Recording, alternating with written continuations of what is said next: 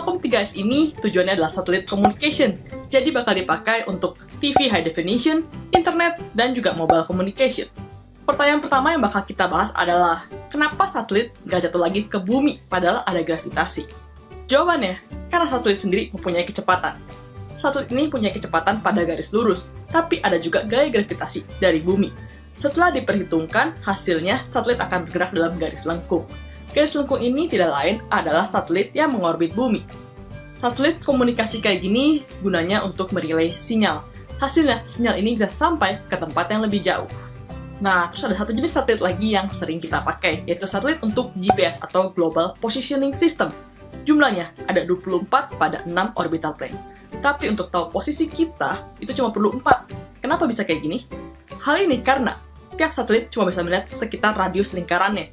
Jadi, satelit pertama akan lihat kita di antara radius lingkaran mereka. Setelah itu ada satelit kedua. Posisi kita bakal di antara yang overlap di sini. Abis itu, satelit ketiga datang. Ini meridius posisi kita terhadap dua titik. Satelit keempat gunanya untuk memastikan kita ada di mana.